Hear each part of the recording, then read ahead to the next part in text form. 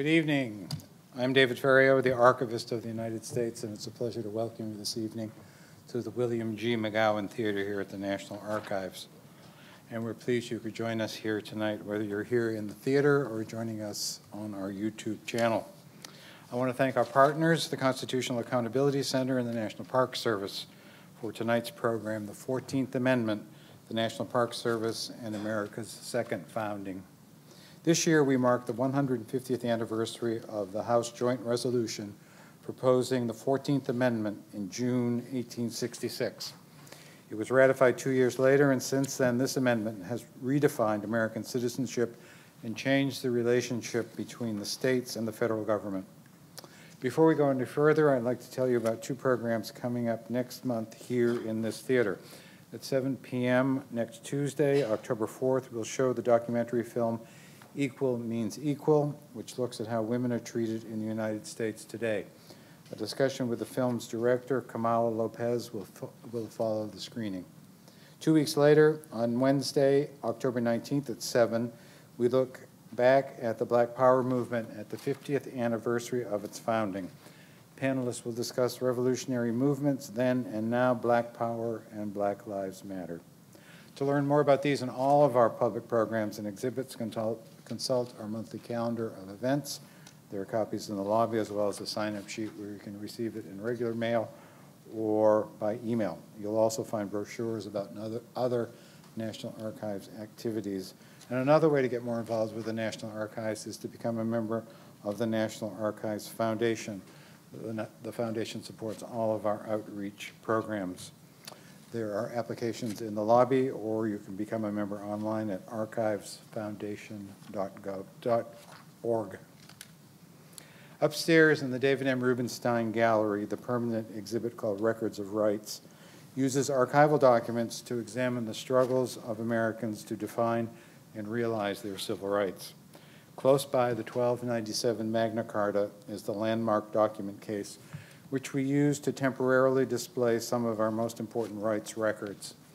In the months leading up to the gallery's open, opening in December of 2013, we asked the public to vote for the first document to display in their case, and their unanimous choice was the 14th Amendment. It was appropriate for that amendment to be the inaugural landmark document because it defines citizenship, citizenship mandates federal protection of due process, and protects the life, liberty, and property of all citizens equally. And today, the 14th Amendment is one of the featured documents in Amending America, our newest exhibit in the Lawrence O'Brien Gallery.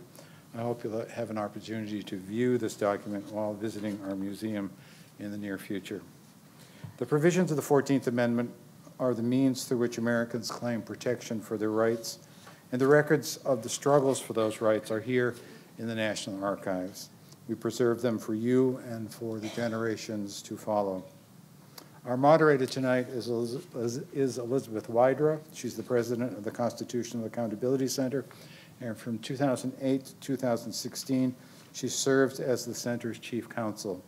A graduate of Claremont McKenna College and Yale Law School, Wydra was in private practice at Quinn Emanuel Urquhart and Sullivan in San Francisco before joining the center.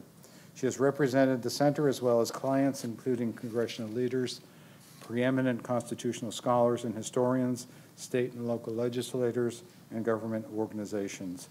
She appears frequently in print and on air as a legal expert. Ladies and gentlemen, please welcome Elizabeth Wydra.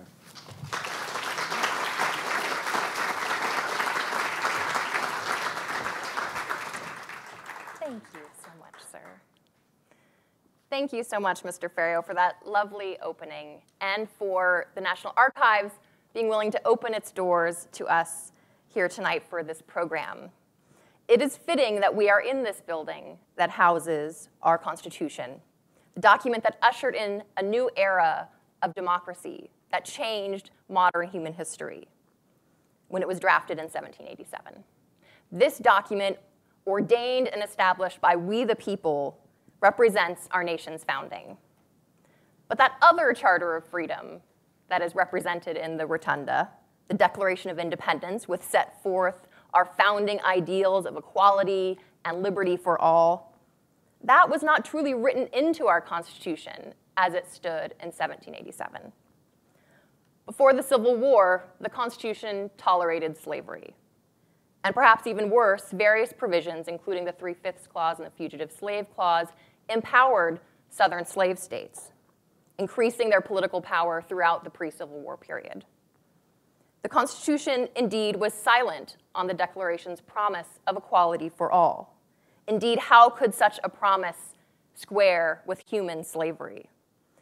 And it was silent, indeed, on the issue of voting rights and citizenship and true equality. Before the Civil War, states could violate key fundamental liberties, such as those set out in the Bill of Rights, including free speech, with impunity, and they did. They punished, in many states, abolitionist language by punishment of death.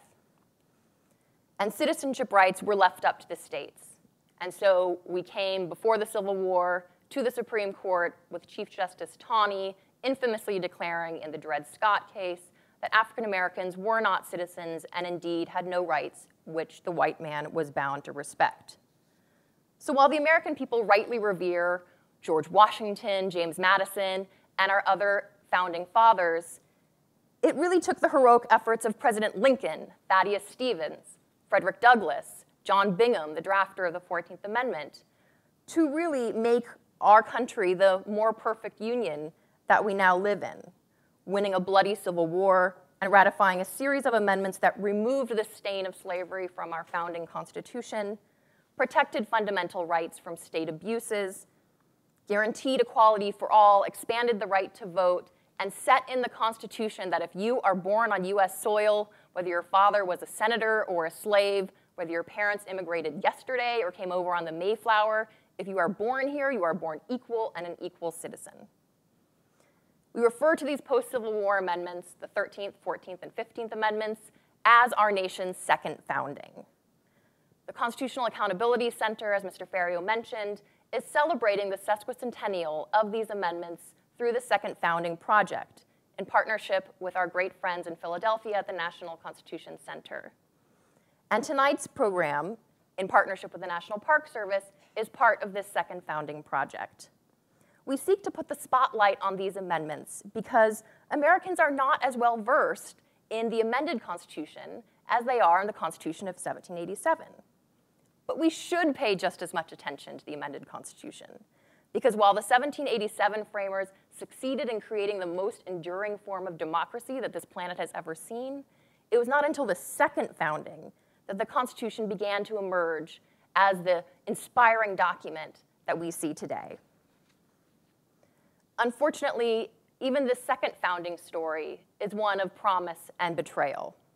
During what historians call the Reconstruction era, under the new constitutional amendments' guarantees of equality and citizenship, there was a flourishing of black political power and economic and educational advancement aided by programs set forth by new government agencies like the Freedmen's Bureau.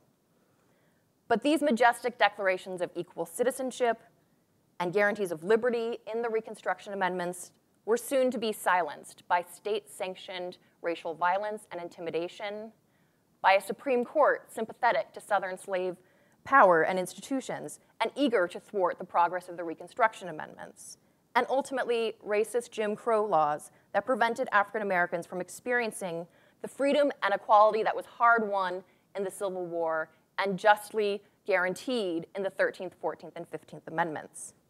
Indeed, it took the courage of the civil rights movement and leaders like Dr. Martin Luther King Jr. to make real the promises of the second founding.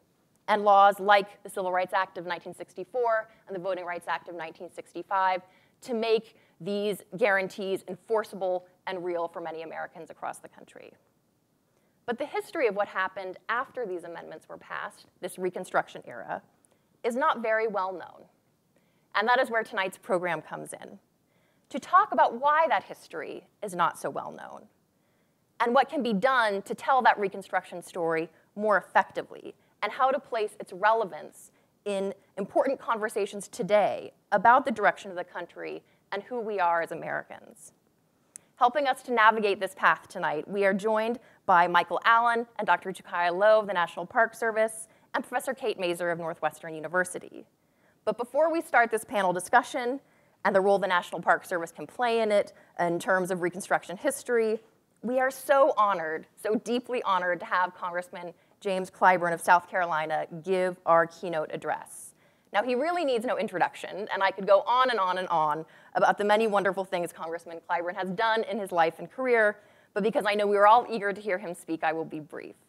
The congressman was elected to represent South Carolina in 1993, the state's first African American member of the House since Reconstruction, and his career in Congress since then has been unquestionably distinguished.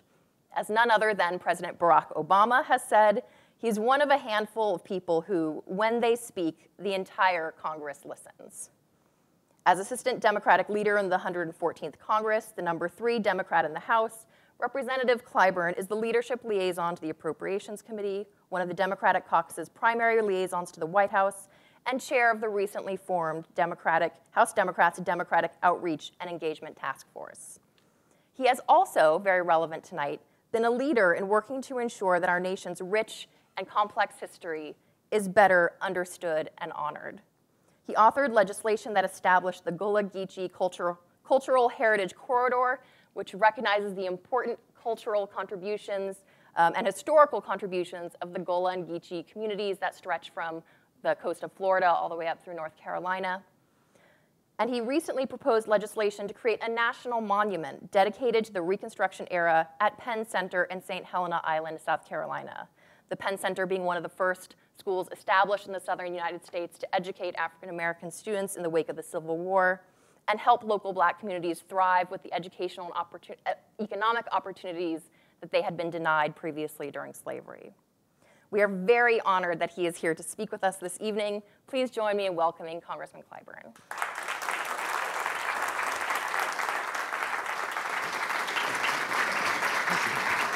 Thank you. Thank you very, very much, and thank you so much for being so kind uh, to invite me to spend a few moments with you. Now, uh, you've got a panel uh, that's going to get into the weeds, uh, as we often say uh, over on the floor of the House.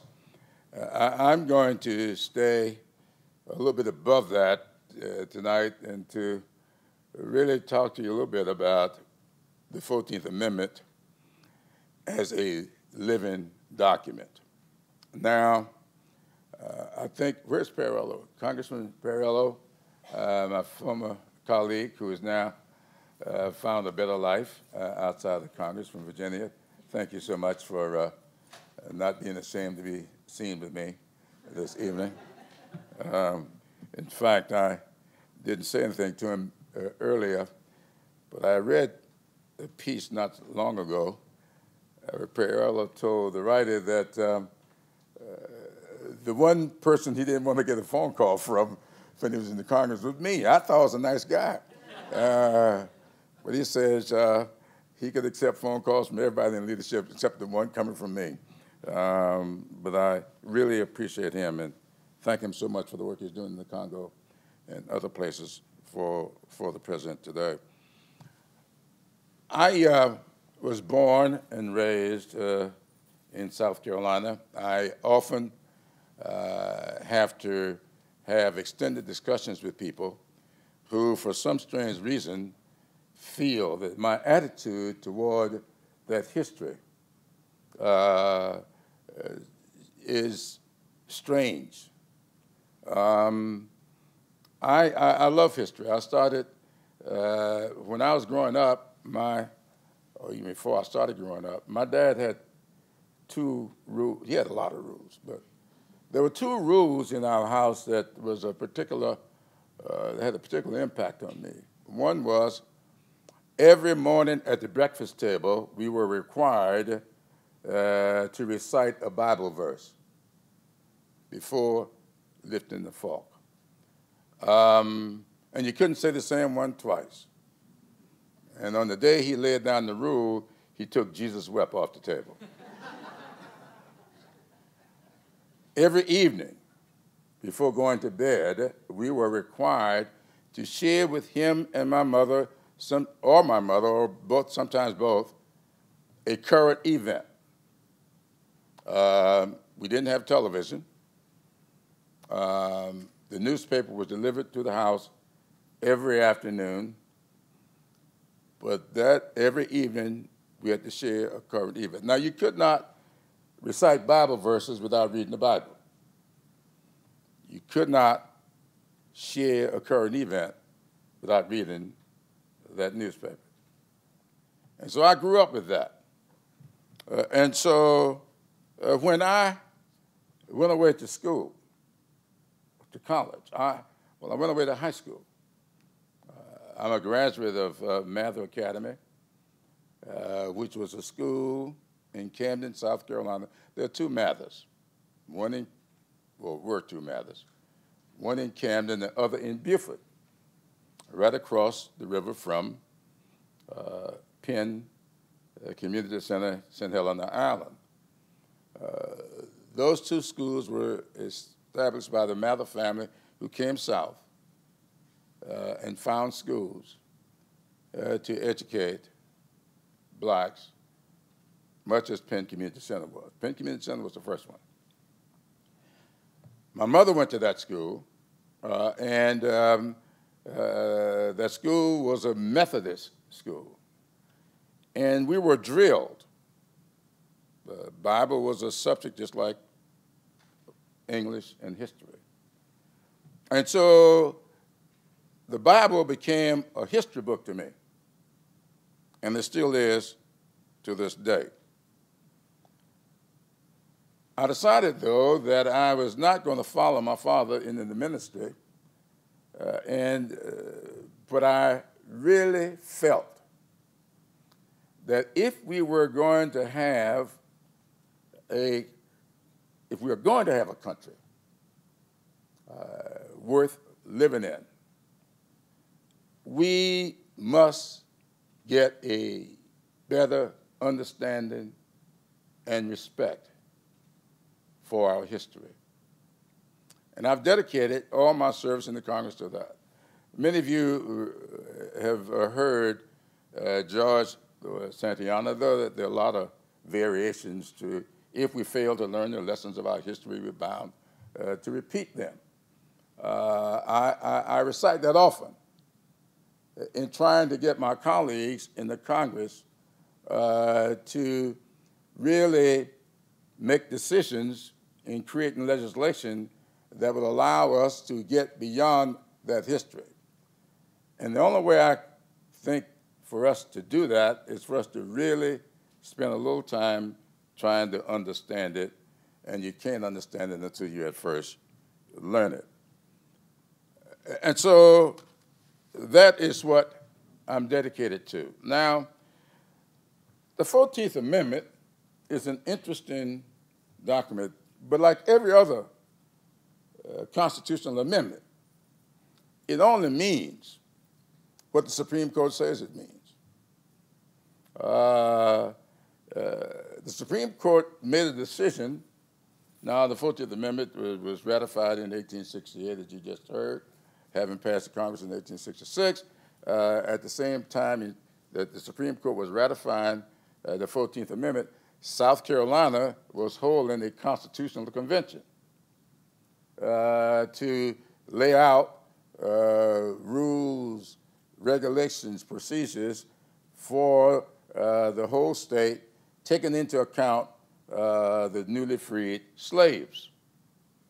Now, uh, the problem is that, and this is, you find this throughout history, every time the Congress moves left in the political sense, the Supreme Court moves to the right.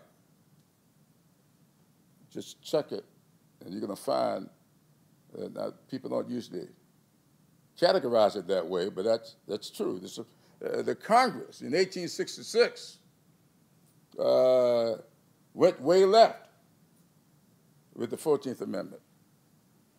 But the Supreme Court in 1876, in this Cruikshank decision out of Louisiana, went way right.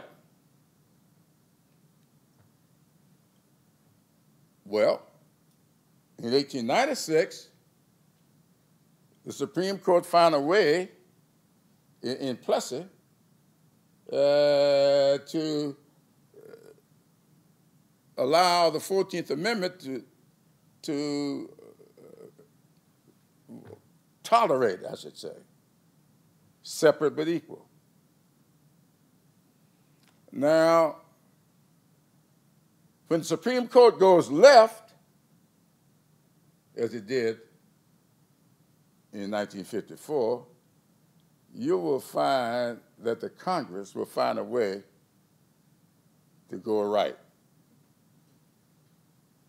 All you got to do is look at Strom Thurmond. A lot of people think it was 1964. Strom Thurmond uh, set the record for filibustering in 1957. It was a 1957 Civil Rights Act uh, that Thurmond was filibustering, which was only establishment or the expression of a principle. Uh, and uh, it was because the Supreme Court had gone left in 54, and the Congress started looking for ways to go to the right as, as somewhat of a check. Now, in 64, 65, 68, 72, uh, I'm amazed at the number of people I run into who uh, tend to, uh, to, to take all of the stuff that happened uh, over that eight-year period from 1864 to, uh, eight, I mean, from 1964 to 1972 and interpret that as one Civil Rights Act. No, there were four different Civil Rights Acts. the Civil Rights Act passed in 1964 it didn't apply to the, to, to the public sector. It only applied to the private sector. In 1964, after the Civil Rights Act passed, uh, it was still legal for South Carolina and all other states to discriminate in hiring. And they did very forcefully. Uh, that was not outlawed until 1972. Uh, many of us remember Lyndon Johnson's famous admonition that a half loaf is better than no loaf at all. That came about because the, the civil rights community did not want to accept the 64 Civil Rights Act without voting. But Johnson knew he was not going to get voting done. Uh, and um, uh, I don't know how many of you have seen it. I, I, went up to New York to see the play uh, All the Way, uh, which I thought was a magnificent Uh, uh, production. Uh, I, I, I, really am very anxious to see Hamilton, uh, except that you, I, a congressional salary would not allow $700 for a ticket. and so I have not seen Hamilton yet. But if you look at all of this, uh, we have to come to a conclusion now. Uh, Craig is Link, uh, who I asked to do a little research for, and I came across a, a quote which um, I want to share with you. Uh, Thomas Paine uh, was one of my, I've studied uh, Thomas Paine, and you know, these are times to try men's souls, summer soldiers and sunshine patriots, willing to Christ and from the service of their country. All that stuff I learned early. But Craig found a quote that I want to share with you, a Thomas Paine quote. It's quite frankly, if I ever knew it, I've forgotten it. Um, and it's this Those who expect to reap the blessings of freedom must, like men, undergo the fatigue of supporting it. Those who wish to enjoy the blessings of freedom, must undergo the fatigue of supporting it.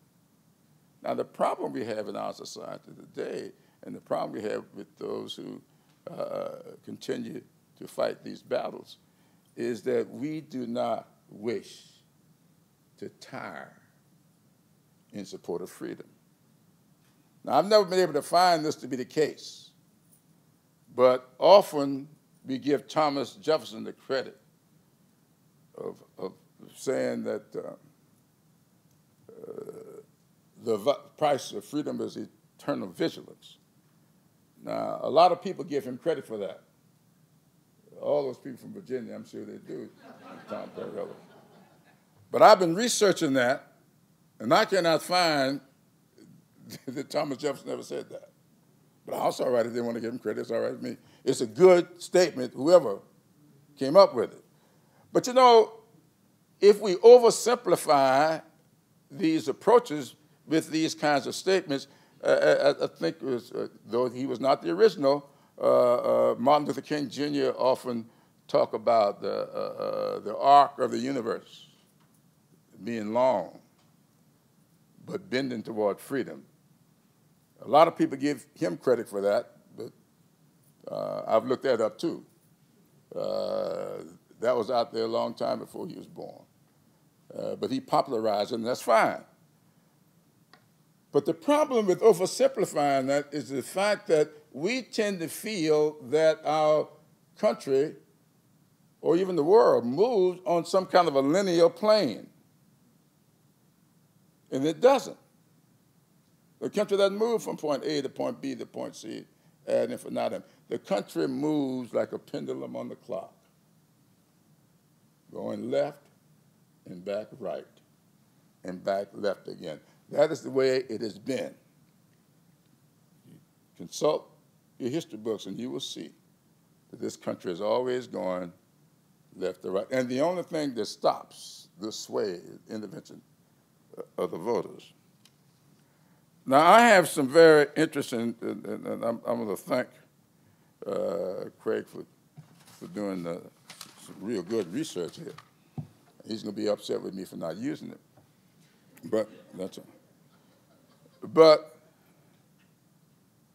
I wrote in my memoirs that Nathan uh, just asked me to sign for him. I hope he stayed around. Uh, I, I, was pleased to do that. Um, the premise of my memoirs, and I'm going to close with this. When my dad uh, and I had discussions about me following him into the ministry, that was my intention until I was getting out of jail for about the third time. Uh, and I figured that wasn't working too well. But when I went home, and someone told me I should always close a loop on that. This was during the, the sit-ins of the Sixers. Uh, so I didn't go to jail for robbing and hijacking. And but it, it, worked pretty good for me. I met my wife in jail. Uh, and this lasted for 55 years. Um, but when I went home to tell my dad that I had changed my mind and I did not think I was going to go to the seminary, he told me one day, well, son, he said, I suspect the world would much rather see a sermon than to hear one. And I've used that as sort of a mantra. And when I started writing my memoirs, uh, which was published two years ago, and by the way, the readers of, of, of, of Amazon gives it five stars. So I got, I just started experiencing what everybody called writer's block, which I thought was a joke. Um, and when I got laid off that book almost a year, I, I remembered my dad used to prepare for his his sermons every week by taking his last meal of the week around 6 o'clock on Friday. And he would not eat again until after church on Sunday. He would spend all day Saturdays reading, writing, he would be walking through the house humming his favorite hymn, Blessed Assurance.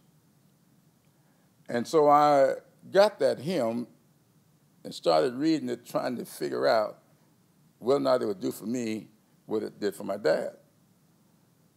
And it did. So I changed the title of my book to Blessed Experiences. And the premise of the whole book is we can be no more, nor will we ever be any less than what our experiences allow us to be. no matter what it is you may think you are, if you do not have appropriate experiences in life, uh, you will be limited to whatever your experiences might be. And so that's why I believe strongly uh, that we ought to always spend as much time as we possibly can understanding our torturous history and being strong enough to celebrate it, study it, and celebrate it. It doesn't mean that you celebrate every condition. It means that you celebrate who and what we are that result from those experiences. But in order to do that, we have to learn to respect the experiences. My wife grew up on a little 22 acre farm in Berkeley County, South Carolina.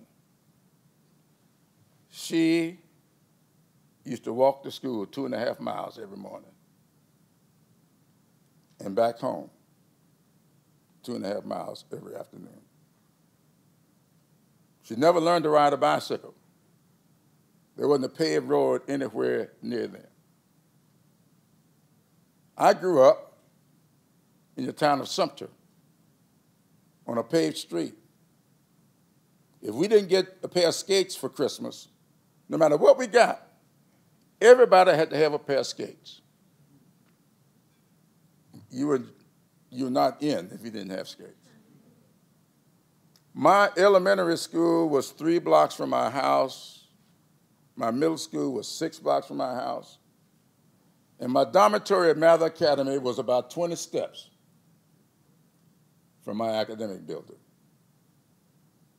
And so when I spoke out after the Judge McMillan's decision in um, Swann v. Mecklenburg, I spoke out against that decision because I thought it put too much burden on the students.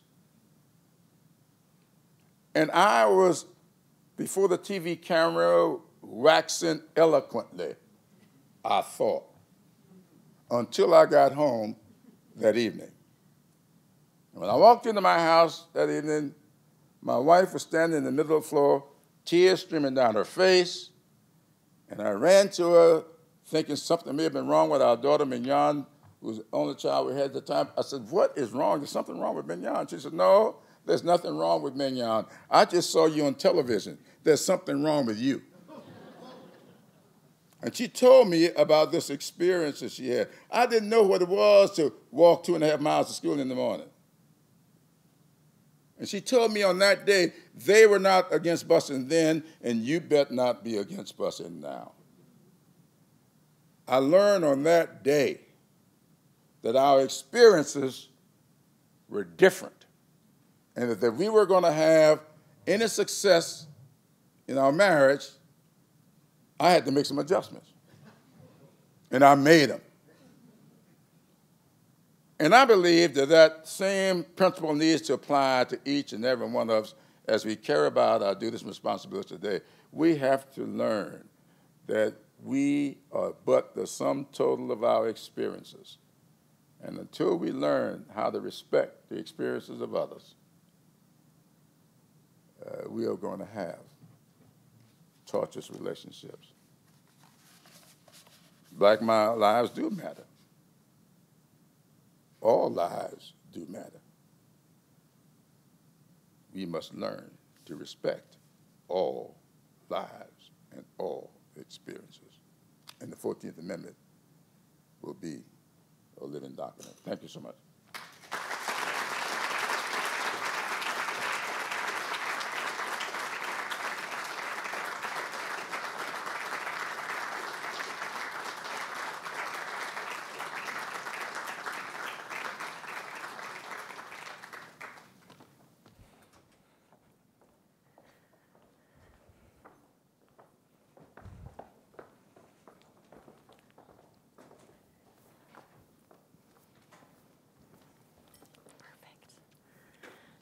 Thank you so much, Congressman Clyburn, for those wonderful remarks. I think that we, um, you know, that we're, we're left to our task with the panel discussion with, I think, some great points to start with.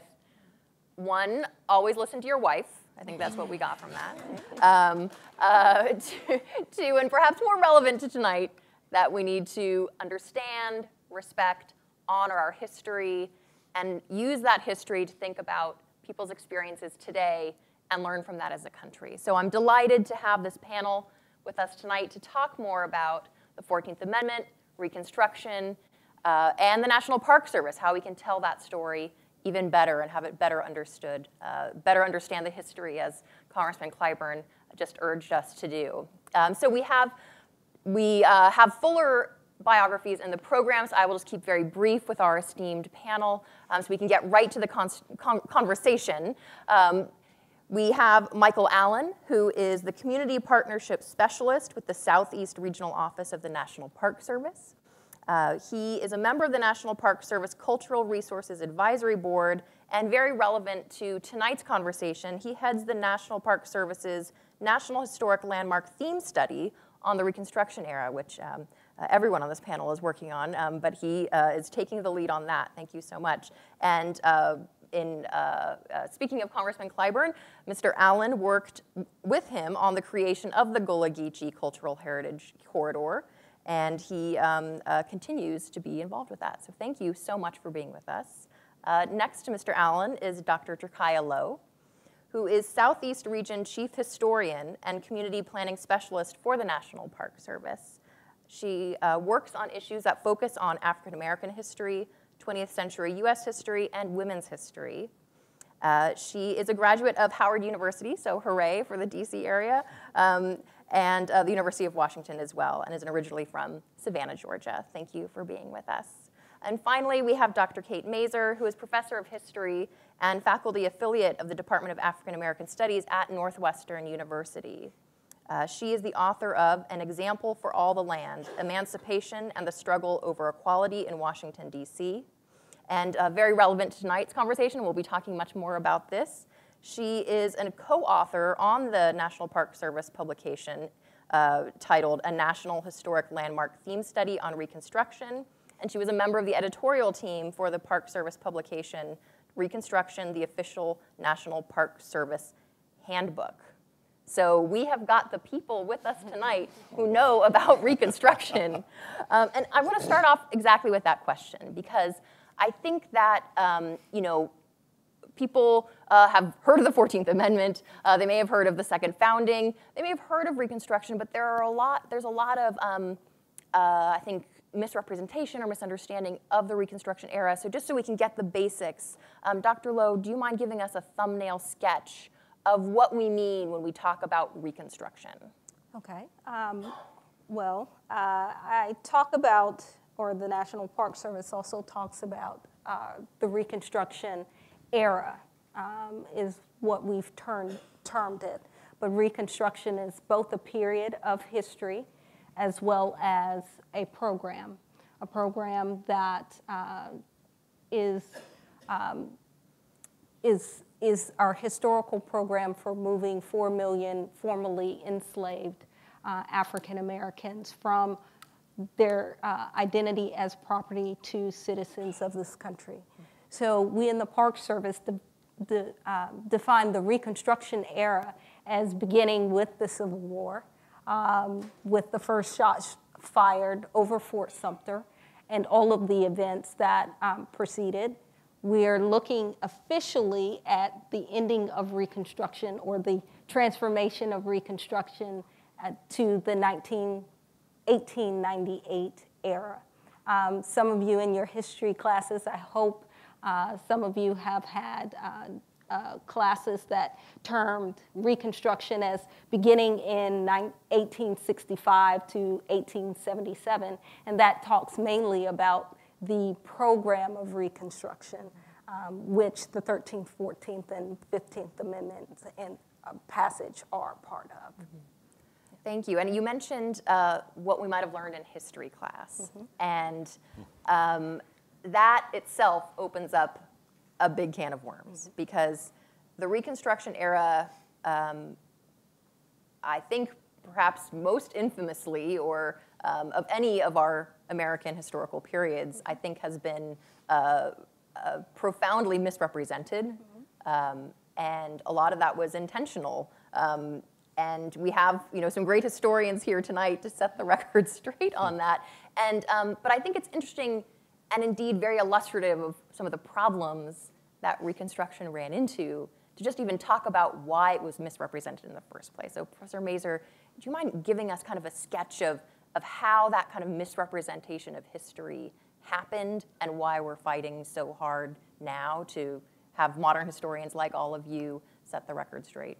Sure, um, thank you. I, uh, I think it, it, there's a generational thing in how people understand Reconstruction, and how they come at it. And I think people, without putting a year on it, I'm sure that it wouldn't be possible to exactly put a year where this changed over. But I think people who are relatively older, let's say, um, may well have learned from textbooks that have um, a kind of older interpretation, which I'm about to describe, whereas younger people, and we can talk about this too, have a different version in their head. And so I, I want to just start by saying that we, we can't assume that everyone has the same kind of wrong interpretation of Reconstruction or misinterpretation, because actually a lot of people have actually very little idea of Reconstruction whatsoever, much less a misperception of it. Now, what happened, uh, you know, kind of a general overview is um, immediately during Reconstruction, even um, when a lot of white Southerners were so outraged both by uh, federal policies themselves and by um, the empowerment, basically, of African Americans, or the very fact of emancipation itself, um, began to write. Obviously, one of the ways they resisted was by writing against what was going on, by talking about um, how unfair this federal policy was, how, in fact, it was upsetting what they considered to be the natural racial order of the South. So their interpretation was very grounded in an idea about race and racial order, which put white people on top, that many people believed that was the natural order of things.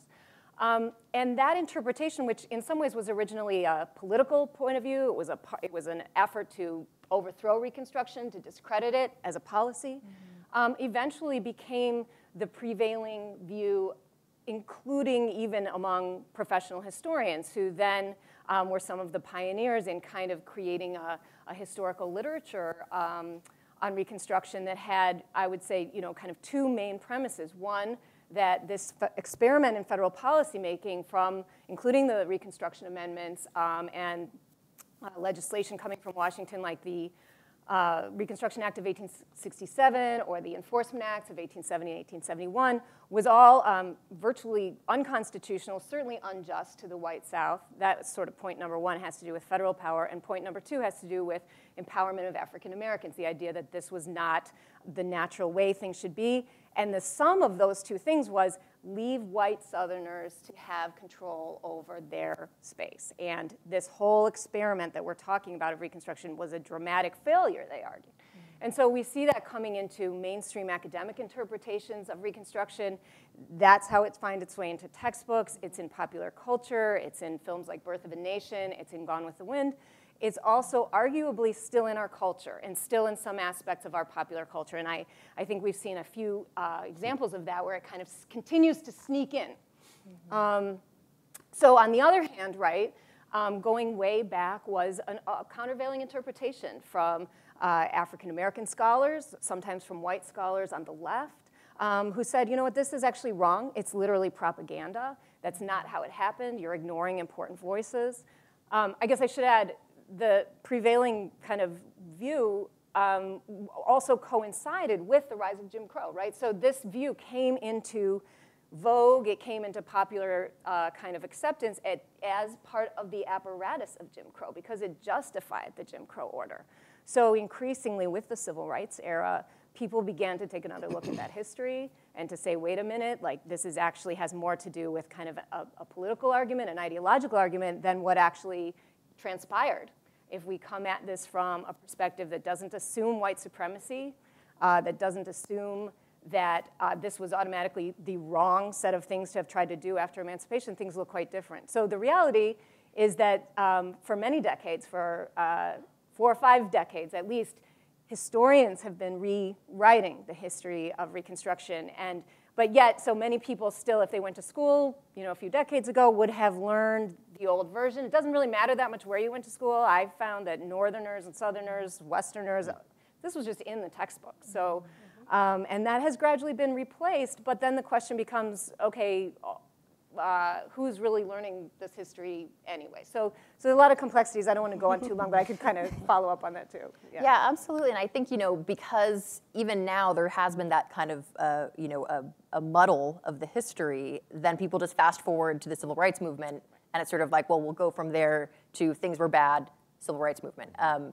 and but doing that helps you know doesn't help us understand how we got to the 20th century civil rights movement and I think the root of a lot of the, um, you know, a lot of the problems that we're still talking about today. Um, but it really gets to the, you know, uh, talking about Hamilton, you know, who lives, who dies, who tells your story. Um, you know, who tells the story is important. And, and I think seeing how it was part of the apparatus of oppression, suppressing the voices that would tell the true story was part of, um, you know, making the history act in their favor. And um, so we're working in the history books to right that wrong. Um, but I think that's why it's so interesting that the National Park Service is getting into it because most of us, I think, in this room are out of school, are not going back to school. Um, and so, especially if we learned the wrong history, but probably as it happens, most of us just barely even learned Reconstruction history. Um, I love that the National Park Service is coming in to do this because we still, well, I hope we, everyone still goes to the parks I'm sure you hope that too. Yes. Um, yeah. So, can you tell me a little bit more about the National Park Service's efforts in this regard? Because I think, you know, I grew up in the West, so I think the National Park Service as Yosemite. Mm-hmm. Um, and I think folks who are from the East Coast might think of these, you know, sort of like battlefields. Um, but telling this history mm-hmm. is something that I think is really interesting that the Park Service is doing. Can you speak more to that, Mr. Allen? Yes, I can. Um, as Kate shared and Turkiya shared, um, the National Park Service, many of you all know, we celebrate our centennial last month. And the question is, how can we be more relevant with today's population? And taking into what both ladies said, how can we ensure that everyone's history is being told? I come at this from a professional perspective and a personal perspective. I was fortunate enough 16 years ago um, in Beaufort, South Carolina, to be a part of a conversation that was led by outgoing Secretary of the Interior Bruce Babbitt. And he rightfully said that at that point in 2000, there were no National Park Service sites within our system, within our family, that addressed Reconstruction. And given, as Turkiya said, the history and the breadth and scope of what Beaufort County offered to us as a nation, as, as a country, some serious consideration should be given to Beaufort. And, and I believe that sparked a, a 16 year conversation with ebbs and flows, I mind you, um, looking at that community as a potential site for National Park Service. And there's some benchmark reasons. One, um, in the fall of 1861, November of 1861, as we would say in Gullah, um, Big Shoot happened when uh, Northern forces came into Port Royal Sound and attacked uh, Confederate soldiers and in fact, that actually transformed the lower part of South Carolina. It, it, it opened up a, a, dialogue of freedom and opportunity that had not existed there. And that began the roots and the seeds, if you will, of Reconstruction with fundamental questions. Now, what do we do with these African Americans that are here? Uh, do we still call them slaves? Are they contraband? Do we free them? Do we send them along with their masters who left? Do we pay them? Do we house them? Can it be employed by the military? And so when you look at Beaufort County specifically and the roots and the seeds that, that were born and germinated there, it's important that the National Park Service be a part of this conversation and, and to have dialogue you know, with the community. And one other important fact is that many of these tangible sites that was associated with this transformation from slavery to freedom still exist today. Uh, Congressman Clyburn talked about uh, the Penn Center, and, uh, which was born during Reconstruction. There are many physical structures, buildings, landscapes that are still there, that are still part of this conversation. And so we believe that it's important that some conversation takes place with the community to bring to the American public a better awareness, an understanding, and an appreciation, as Kate talked about, about Reconstruction and its relationship to us today in the 21st century. So you're working on uh, doing that through thinking about these sites and the stories through your theme study. Right. Um, what are some of the issues that you have focused on in that endeavor? I'm thinking of, you know, there are big picture questions, but there are also fantastic, colorful stories of the people, the personalities, the history. I mean, I think Ro- Robert Smalls and Mm-hmm. Yeah. the, you know, and, the, and taking the Confederate right. ship, and you know, I mean, these are amazing stories. Can you talk about some of those? Bring out some of um, that kind of flavor for us. Well, I think we're looking at what we call the tangibles. Today, the home that Robert Smalls grew up in as enslaved, that he secured as a freeman, still stands in Beaufort County, in, in the city of Beaufort today, that, that you can see and touch and, and experience. Um, on January the 1st, 1863, at the Smith Plantation, um, which now is on a naval hospital complex, is where the first reading of the Emancipation Proclamation took place in South Carolina, spe- specifically in the South. That physical landscape is there today. Mitchellville, uh, which is a, a freedmen's community established in the latter part of the Civil War on Hilton Head Island. The community is gone, but the landscape and the land of which Mitchellville sits, it's still there. And just not focusing on Beaufort, but in, our work and our studies throughout the South, there are landscapes, communities, buildings, facilities, places in which Reconstruction took place. It was a tangible, real occurrence. And our objective is to be able to share that. You know, the three of us recognize that there's one thing that we hear often, and Kate alluded to that, that Reconstruction, one, did not happen. Mm-hmm. Two, that it was not successful. Three, it should not be discussed. And, and four, why should we do it today? And I think the three of us as a team realize there is relevancy in that period of time. And our responsibility as an agency is to bring that relevancy to the public. And to follow up on that, uh, I wanted to take a broader view of the conversation that was had in um, 2000 with um, former Secretary Babbitt. The Park Service was also starting to begin to plan for our Civil War sesquicentennial, the 150th. And we determined as an agency that we wanted to expand that story beyond the battlefield um, which for our 100th anniversary, we focused on troop movements and which general did this when. Um, really focusing on our national park units, which were involved in the Civil War, the actual fighting. Um, but years ago, and, and Michael can talk more about this time, a group of National Park Service professionals came together and decided we are going to be bold and state first that the cause of the Civil War was slavery. Something the agency had not done um, in our history was to make that connection boldly um, and charge our national park units to begin to interpret that story, to expand that story.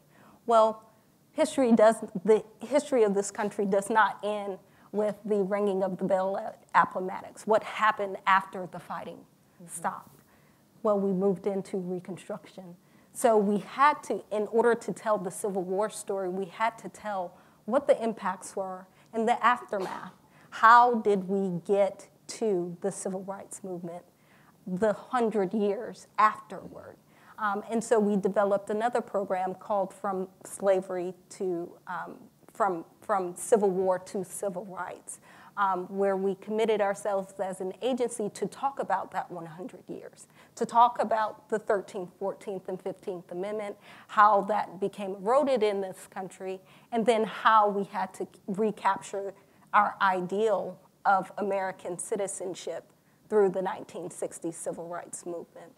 Um, and so that has been our charge for the last uh, decade, uh, and it continues with the theme study, uh, which we hope to encourage and support others to begin to commemorate and recognize within their own communities. Um, so, what is the theme study? It sounds very um, Okay. I don't know, you have theme and study, it's kind of very like abstract. Um, I get the handbook, that makes sense to me. Um, But can you talk more about what- what you, what you mean by when you talk about this theme study? Because it's a, I mean, it's an amazing project that you're talking about. Um, And I think, you know, to help us understand how exactly you're going to make that happen, um, you know, is, is fascinating because it, it seems to me both a project of reinterpretation and establishment of new historical stories. Well, um, so I am a historian in a university who became involved with the National Park Service, and so um, I will kind of I can speak to this sort of from the from the perspective of the person who was one of two people. I should add that um, my partner in this was Gregory Downs, who's a historian at UC Davis, and he and I um, have been the two academic historian advisors on this project all along. So um, I'm kind of speaking for both of us here. Uh, we, we were hired to write a theme study. Now, the, the term theme study is a term within the Park Service, and they have done many theme studies. And as I understand it, uh, they'll do a theme study, the Park Service will do a theme study when they basically want to know more about a particular issue. Um, we, were, we read some previous theme studies. There was one on the history of American aviation. There's one on the history of public accommodations in the civil rights era. Um, there's a variety, so it can be kind of all different sorts of um, themes where they want to understand more the parameters of a particular issue in American history, um, and then try to identify where are places where we could be, we the Park Service could be um, interpreting this history. And so Greg Downs and I um, put, to, be put together with the help of Mike and Turkiya and other people kind of throughout the service. And actually, there was a really big process of gathering information, which involved tons of people. Um, it has a couple different parts. It's right now it's being finalized, so you know it's it will, it's forthcoming, coming soon. Um, it, it, so it, it introduces the era of Reconstruction and it gives a kind of up-to-date essay-like um, kind of framework of here's what Reconstruction was and here's why it matters. And uh, we devised in a meeting that we had at the beginning of this project, there, we all collectively came up with six different themes um, that comprise what we consider to be the most, sort of the most important themes in the history of Reconstruction. So a large part of the theme study is a kind of overview of those themes, which would be um, familiar to you if you had recently read a legitimate sort of serious treatment of Reconstruction, of which there are many good ones at this point. Um, and then we go on I'm sure to you all have, right? Yeah. Everyone has, yeah. uh, and then we go on to um, talk about, well, where are some places where this history could be, re- be mm-hmm. interpreted? And these kind of places could be places that are already National Park Service sites, mm-hmm. Mm-hmm. or they could be places that are National Historic Landmarks, or they could be places that should be nominated to become National Historic Landmarks. And I, I just want to give an example because I, this is one just to kind of throw out there. There were a lot of things that I thought were very interesting, and also coming at it as an academic historian who we don't usually always think about place. We don't. So when we think about something significant that happened, we don't necessarily think, well, is the building still there or not? It doesn't matter that much in a certain context, but in this context, it matters very, very much. So there are categories of uh, kind of uh, integrity of the building, integrity of the site that matter a lot for this. But so to give an example, Beale Street in Memphis is a National Historic Landmark. It is. The, and it's a historic district. Now, why is it designated a historic district? Because of music, because of the history of music. It is tied to African American history. Um, it's tied to having had a significant black business district there, but is not tied to Reconstruction in the way that it is understood as a National Historic Landmark. But it turns out that the community around Beale Street in the era of Reconstruction, you know, which is part of the reason it became Beale, the Beale Street that we know, was a mm-hmm. highly significant African American community coming out of slavery, where some of the most important black churches in Memphis were, where some of the major black business leaders of the Reconstruction era were. And so that's an example. There, there are many different kinds of examples, but that's an example of a place that's known already to be historically significant, but not known in the way that we could know it mm-hmm. if we framed things more around Reconstruction. Mm-hmm. And- And I would add with that, um, as we've gone through this process, it has caused us as an agency to examine our own maybe previous decisions mm-hmm. in how we may have accepted National Register nominations, National Historic Landmark nominations, and what was hidden in plain view that was not added to the document. And so I think there's a validation now that will come as a result of this process where we will look more intensely at the work that we're receiving from the communities and ensuring that everyone's history will be a part of this conversation. And to follow up on, on Mike's point, um, one of the early uh, projects with doing the handbook and the theme study was to identify existing national park units that have a reconstruction story that is already being interpreted or where we could um, expand the story to tell those stories. Um, many of you may not know that national park units are designated um, by Congress or by the president um, for a specific historic significance. Um, and oftentimes, as Kate was um, pointing out, that significance is not one that covers the totality of why a site is important. Um, but we have the opportunity through theme studies to um, learn new information that we did not know and to take the opportunity to redevelop our interpretation to tell those stories. So we have stories um, that can be told at um, Andrew Johnson's side. We have stories that can be told at Jean Lafitte. They are actually a um, preserve as well as they manage the jazz, New Orleans jazz site, but that's also the site of Plessy v. Ferguson. So we work hard to interpret that story at Jean Lafitte and New Orleans jazz. Um, we also have uh, uh, Natchez National Historical Park, uh, which has a strong Reconstruction story. Uh, the majority of um, the number of senators and congressmen, African Americans that are um, elected from Mississippi are the largest numbers outside of South Carolina, I believe, um, uh, to come from that state. So our Natchez site also interprets Reconstruction stories. Um, I also want to point out there is a National Historic Landmark just about six blocks up, the Blanche K. Bruce House um, that was designated years ago um, that tells the story of Senator Blanche K. Bruce, one of our Reconstruction, African American Reconstruction senators. So you could even walk up, uh, walk up Seventh, uh, about two blocks over from the convention center, and see a National Historic Landmark, which the theme study helps us to identify these sites so that we can begin to recognize them. So uh, before we get to questions, I want to make sure that we talk about relevance to 2016. Um, but before we get there, hearing you talk about this, and especially I was thinking when you mentioned Andrew Johnson, um, a lot of this um, sometimes is about adding to existing things, you know, adding to Beale Street, adding its historical significance. But a lot of, I mean, you think Andrew Johnson, a lot of that is uh, contesting history and what is the important part of that story to tell. So if you're right now, while you have the theme study um, mm-hmm. in process, but that's a little more academic. Let's say I'm, you know, just a member of the public coming to one of these sites mm-hmm. that raises the themes that you look at. How am I going to experience that retelling of history, the kind of opening up the story, particularly in these existing sites? I think in some sense it's almost easier if you're creating something new. Mm-hmm. But when you have this contested history, how do I, as the public, member of the public coming to these National Park Service sites, experience that? Well, I think the work that both, all three of us are describing here provides the opportunity, first of all, for the park itself to recognize that there's a history that needs to be told, mm-hmm. first of all. And with that, as we disseminate this information, you, the traveling public, now come looking for it.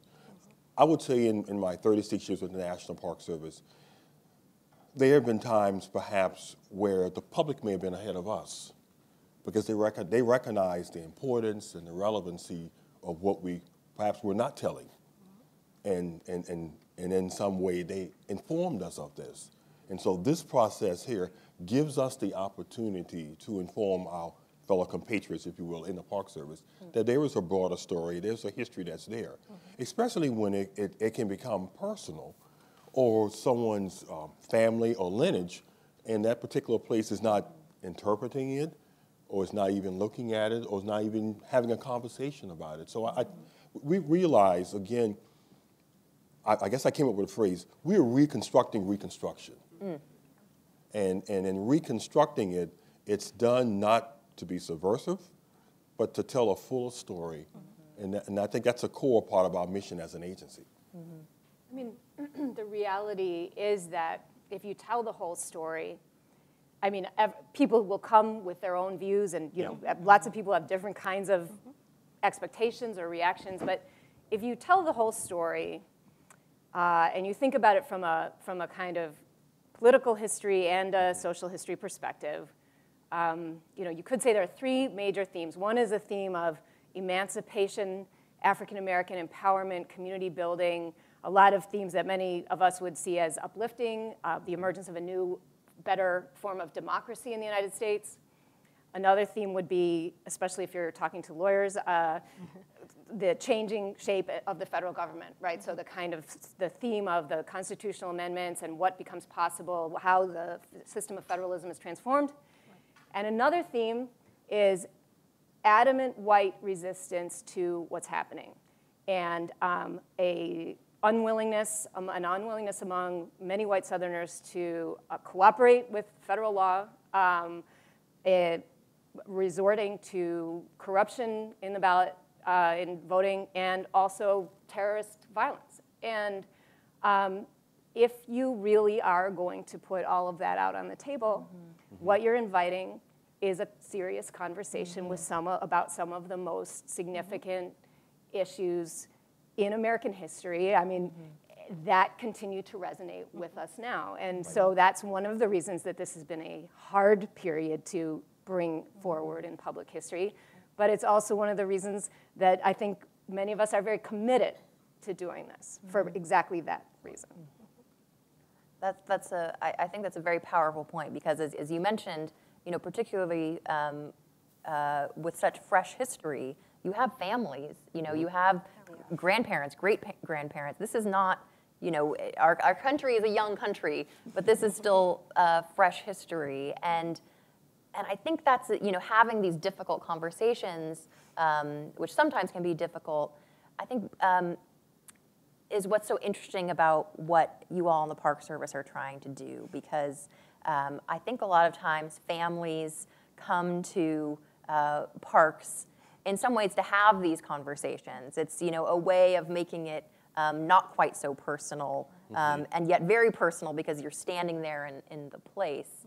Um, so can you talk a little bit about how you envision when someone comes, you know, after you've published the theme study, after you've you know come up with these new uh, you know stories that you want to tell, how you want them to experience it as a person in 2016, or you know I know how the government works, maybe it won't come up 2017, um, but you know that's okay. Um, how you want them to experience it because I think there are a lot of conversations when we talk about Reconstruction, just those themes that you mentioned, you know, economic inequality, um, uh, state violence against communities of color, looking for protection, um, and perhaps instead of finding protection, finding violence. Um, issues of economic and educational opportunity. Um, a lot of these issues, and, and you know, all the way up to you know very uh, hot conversations about reparations and truth and reconciliation. So there are a lot of current issues that I think can really um, be informed by the context of Reconstruction. So you, as a 2016, 2017 visitor, Yeah. how do you see that person experiencing this and learning from it and putting it in today's relevancy? Well, first, I would say visitors come to our park units for a multitude of reasons. Um, we have Kennesaw Mountain Battlefield, which is in metro Atlanta, and it is one of our Civil War sites. But most of the visitors come to run. It's, it's a recreational park. So there are times where visitors will come and not have any interaction or engagement with the historical significance of the park, and we have to be open f- to that. Um, I want the visitor to come to our national park units and know that we are a safe space and a brave space, meaning that those multiple perspectives um, those visitors that come with multiple purposes and perspectives will be able to vo- voice those perspectives. But we are charged with giving them the historical evidence, the facts, and facilitating dialogue and conversation. But as an agency, being um, very clear about where the historical evidence leads us, and that's why we do we do the theme studies in order to make sure, yes, we have the best research, um, the best information to present to our visitor, but how they interpret that, how they engage with that, the experiences that uh, Congressman Clyburn talked about um, leads them to that conversation. But we want them, I personally want them to come, engage with the information, talk to us, engage with the park rangers, um, historians, and um, come away a little bit more educated, more civically engaged, and more committed to stewardship of the places that we're preserving. I think there's another element here I've seen in my journey with the Park Service when, when folks are coming to, to our sites, as Turkiya says, not just to run, but it's for healing, it's for restoration, it's for answers, it's for understanding. And I, I know the challenges that Reconstruction faces in terms of how we interpret it, but for many families, these questions have to be answered. And I believe that the work that we are embarked on and the work that the agency is engaged in provides us this opportunity. I mean, we're seen by many Americans as a place where people can come and feel safe mm-hmm. and, and leave with some understanding of our American experience. Mm-hmm. And we should not allow a, period of time to dictate us where we don't go where we should go. Mm-hmm. Absolutely. So, speaking of going where we should go, I think it's now our time to go to the questions. So, we'd love to hear um, what you guys want to talk about in this discussion. You come to the microphones uh, in the aisles on the side.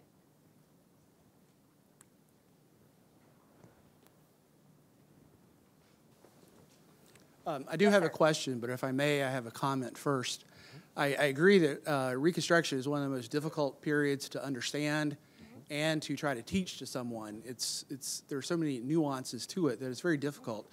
Um, uh, one of the things that I have learned is that, of course, uh, about relevancy, if you can somehow draw a connection between the past and today, uh, people are much more likely to be interested in it and understand it. And I've given a few presentations on Reconstruction, and I always lead off with showing newspaper headlines from the Reconstruction era, but also from the 21st century. They deal with the issues of voting rights, they deal with racial violence, they deal with you know, who's a citizen. And I throw these uh, headlines up without the dates. And I ask people to tell me, are these Reconstruction era headlines or are they today's headlines?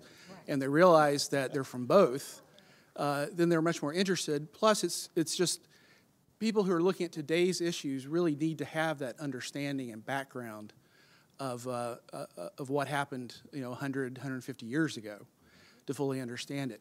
Uh, and I want to make one more comment about uh, historic sites. You mentioned the uh, Blanche K. Bruce House.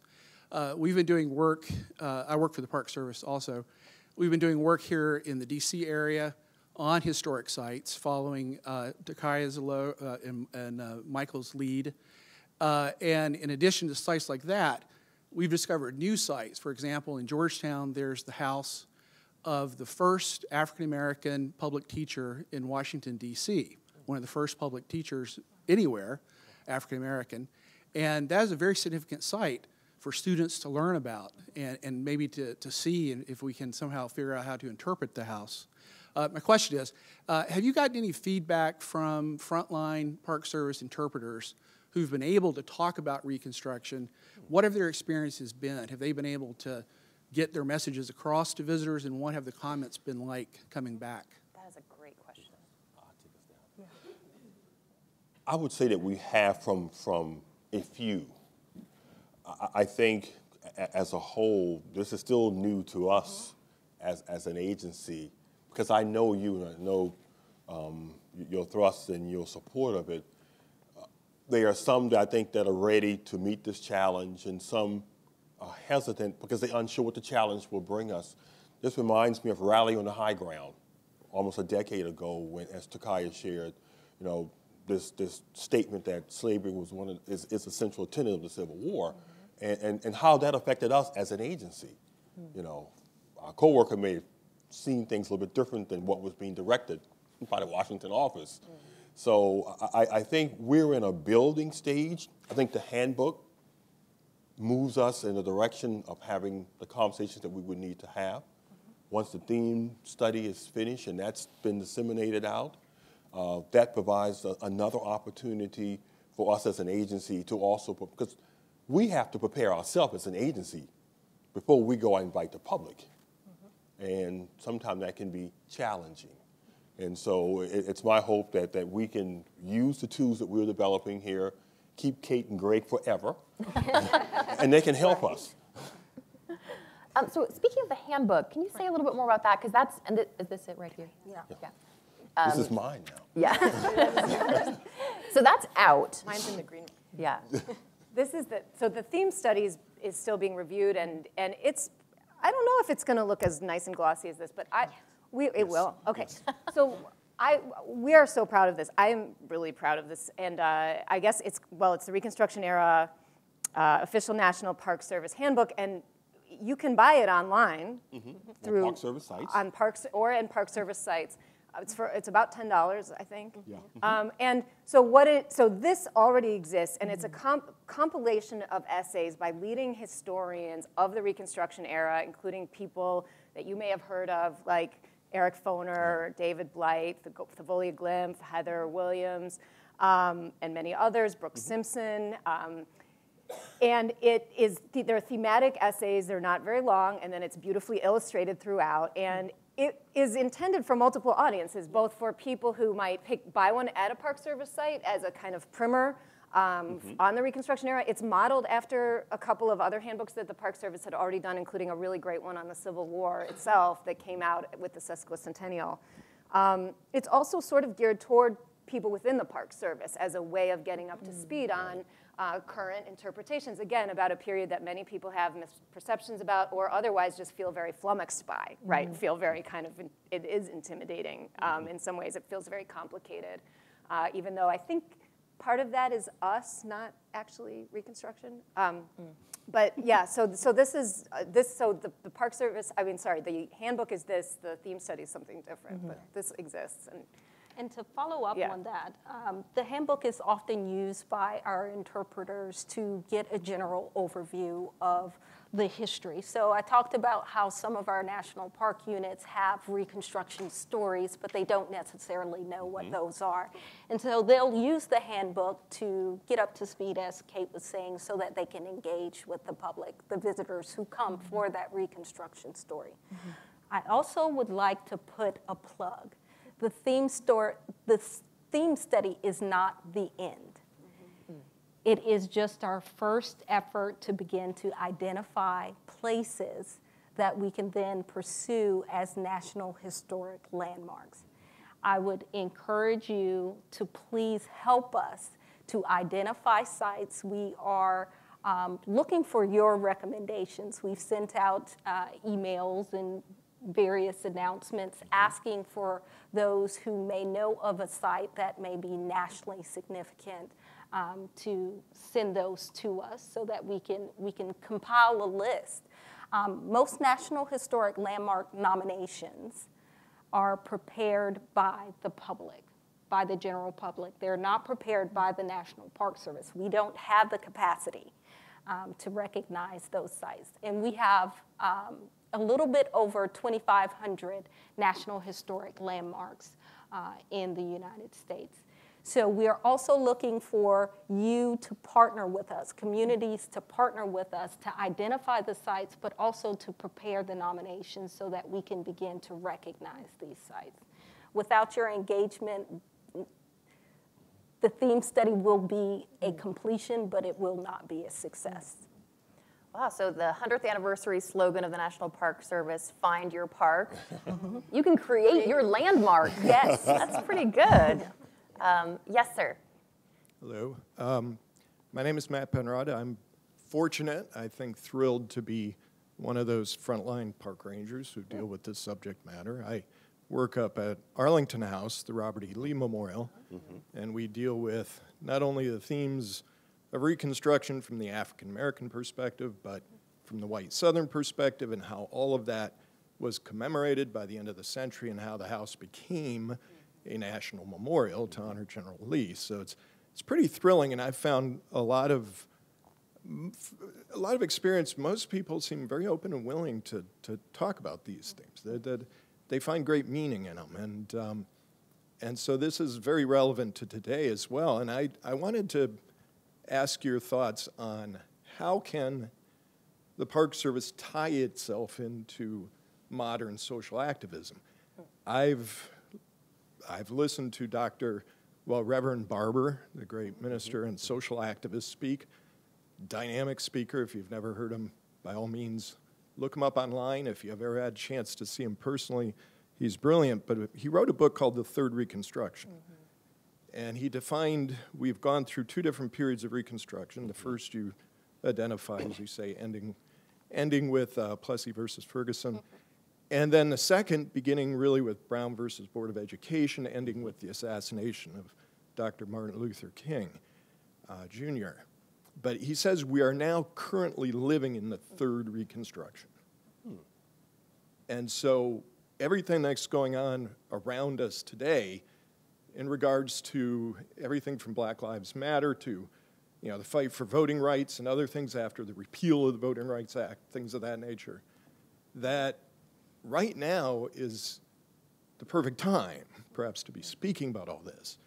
So, how best can the National Park Service engage in this?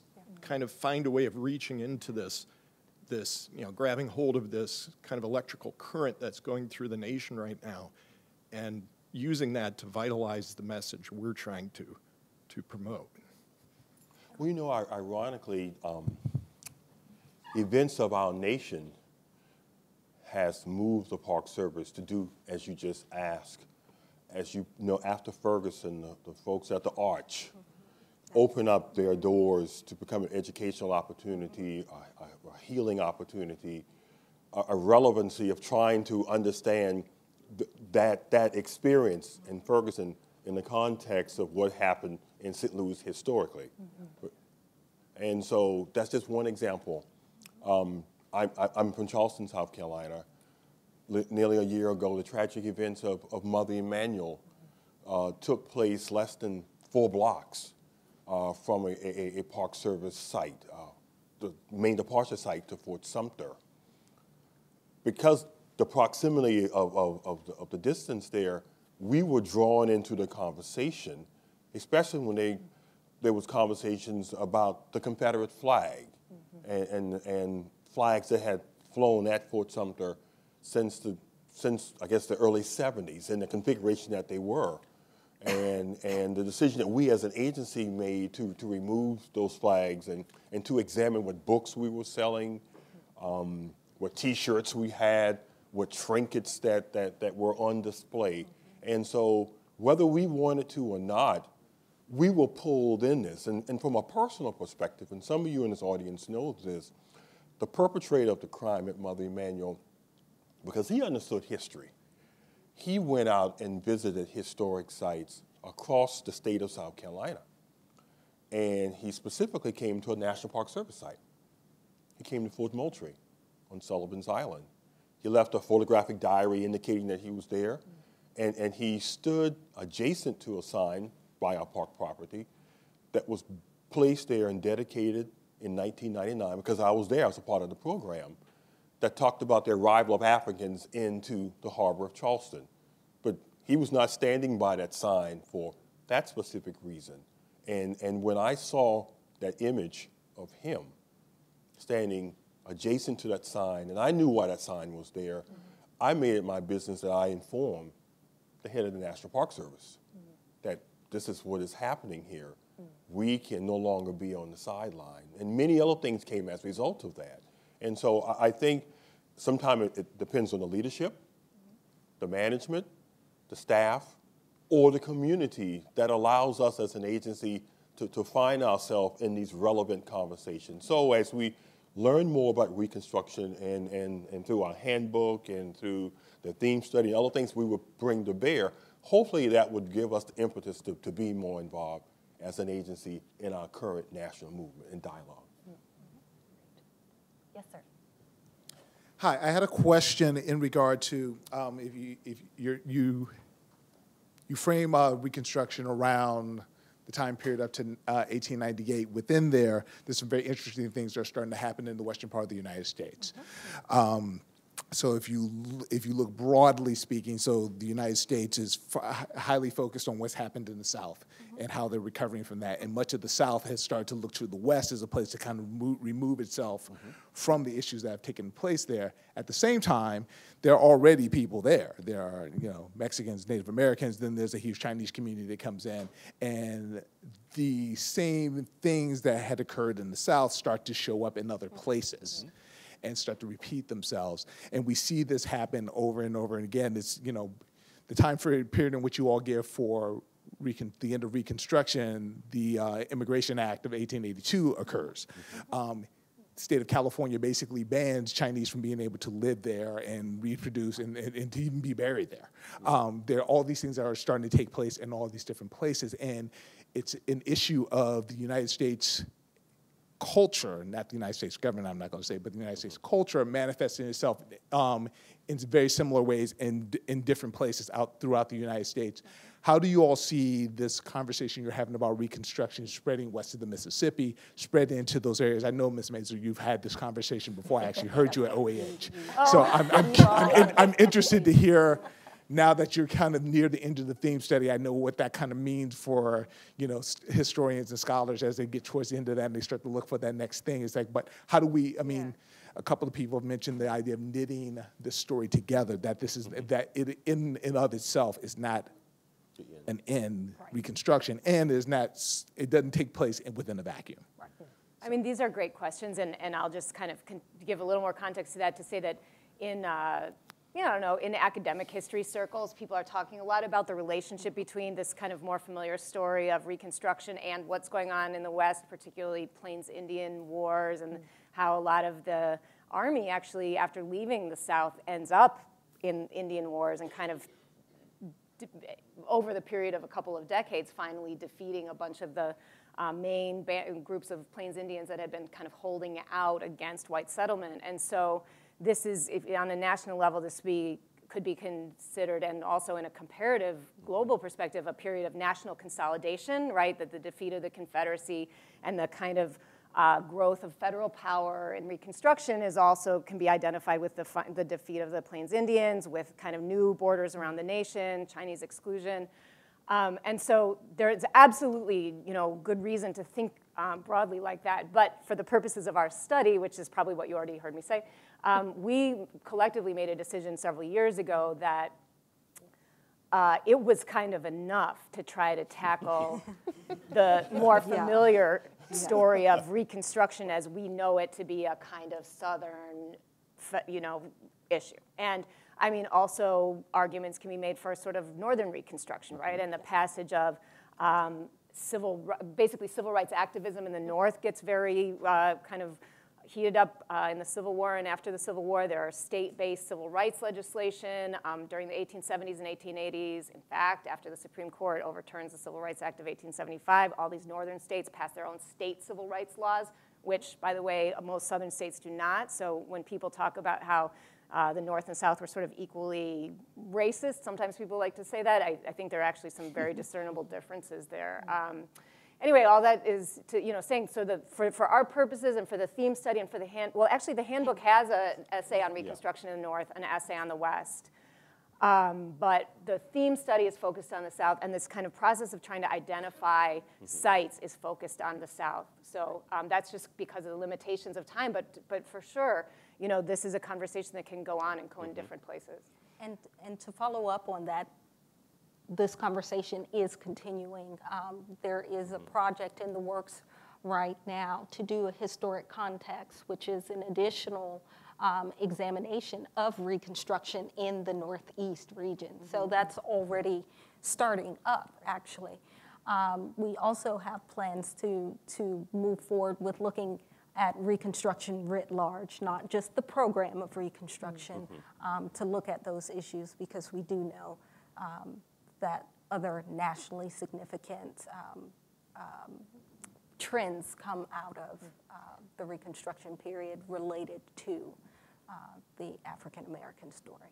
So speaking of limitations of time, we have time for one last question uh, and a quick answer before we have to say goodnight. Yes, sir. First, I just want to say thank you uh, as someone who grew up in Charlottesville, Virginia, where Reconstruction got less than a page in the history book, and it was basically a Dunning School summary. Uh, we really appreciate the effort. Uh, I think this is incredibly important.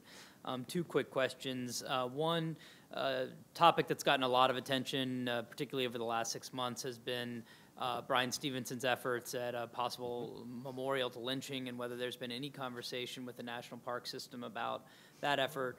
Um, and second, uh, it's a little bit outside the 14th Amendment context, but I lived in Sierra Leone for a couple years in West Africa, and on the island where the largest number of slaves took their last steps, uh, there's nothing. Uh, does the National Park Service, has there been ever, any talk of branching outside the U.S. and connecting with uh, countries that are on the other side of, of some of this story? Good question. To the, your latter question, um, in the late 1990s, there was a foray, if you will, um, by the National Park Service with Bunce Island and the government of Sierra Leone, just for the reason that you asked, because of the connectivity. Unfortunately, through a series of civil wars and other things have transpired, um, I don't think that continued. Uh, in South Carolina, that effort has continued uh, through a document that you can see, Family Across the Sea, which chronicles um, Gullah Geechee people uh, from the coastal area of South Carolina, Georgia, Florida, actually going and meeting family members, if you will, in Sierra Leone. And then that was followed up eventually with another documentary called The Language That You Cry In, which also chronicles that there was a, a, a Mende song that had been passed down generationally, and the family lives um, outside of Brunswick, Georgia. The, Amelia Dawley was her name, and I know her grandson. And, and they would sing the song, but not knowing the origin of it. And a number of historians was able to trace that into Sierra Leone and, and in Joe Apollo. And, and in that document, The Language You Cry and that's chronicle that relationship. So hopefully this is something that can work through, as Congressman Clyburn did indicate it, the Gullah Geechee Cultural Heritage Corridor, which exists now today, um, a part of their mission is just not looking on this side of the Atlantic, but also on the other side of the Atlantic. So there's some opportunities to, to address that from that perspective. And to your first question, I have not been engaged with Mr. Stevenson and his efforts. I'm, I'm not aware of anything, uh, Yeah. any official partnership or don't either. conversation. Well, the work continues, I'm sure, and uh, our conversation could continue for hours and hours, but I know the good people of the National Archives have a, have a time limit for us, alas. But I was so delighted by this conversation, and I feel like it's, you know, as you said with the theme study, it's just starting. So um, thank you so much for being here with us tonight. Please join me Thank in thanking our wonderful you. panel. Thank you guys for coming out. And thanks to all of you for coming, and thank you for watching at home. Thank you.